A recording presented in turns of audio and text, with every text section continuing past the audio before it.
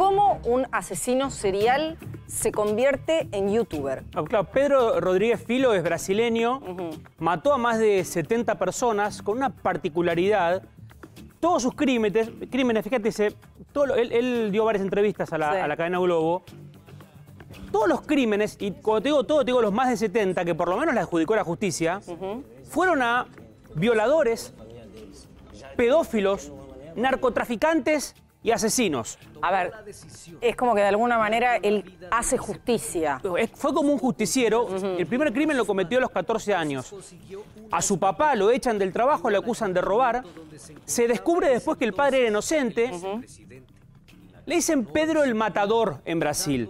Pedro, Pedriño en ese momento, 14 años, mata al alcalde del, lugar donde vivía al comprobar que había mentido sobre el robo del padre y mata a quien realmente era el ladrón de ese robo. Al padre le costó su trabajo y demás. A partir de allí él se va a San Pablo, a las afueras de San Pablo, se aleja por un tiempo de los asesinatos, se casa, le matan a la mujer que estaba embarazada y a partir de ahí, desde los 19 años, no paró un lapso de tres años de matar gente, gente que estaba vinculada al narcotráfico, al crimen de su mujer.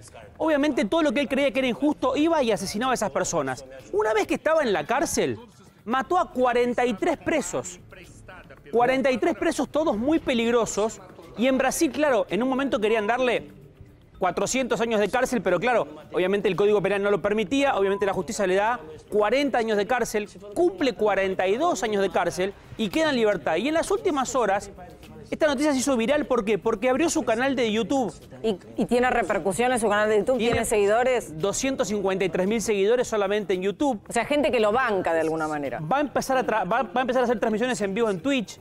O sea, es un hombre que hoy está arrepentido, pidió perdón, pero en su momento, eh, la, serie Dexter, la famosa serie Dexter, que se hizo en Estados Unidos de 2006 a 2013, está inspirada en Pedro Rodríguez Filo. El asesino serial, uno de los más importantes de la historia de Brasil, inspira una serie, es cierto, pero es secundario en su historia. ¿no? Él decía, cada vez que entraba alguien a la cárcel, ¿qué hizo? ¿Quién es? Ah. Este, este es pedófilo.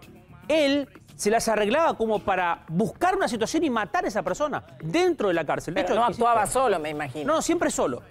Una persona eh, que realmente tiene antecedentes fuertísimos. Hoy está en libertad y está arrepentido. Pidió disculpas en general a la sociedad, no a los familiares de la víctima. De asesino serial a youtuber.